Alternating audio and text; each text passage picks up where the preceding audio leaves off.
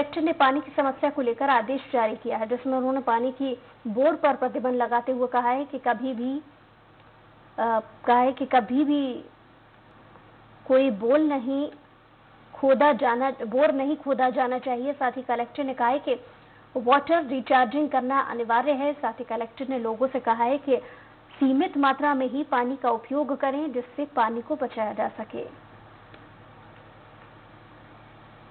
Boring प्रतिबंधित है, उसका मूल कारण पेयजल ही है और पेयजल की उपलब्धता सुनिश्चित कराना जिला प्रशासन और राज्य शासन की प्रायोरिटी है। तो मैं जनता से भी अपील करना चाहूँगा कि वे पेयजल की स्थिति को देखते हुए सीमित मात्रा में उपयोग करें और अभी फ़िलहाल नए बोर के लिए कोशिश ना करना ही उचित होगा।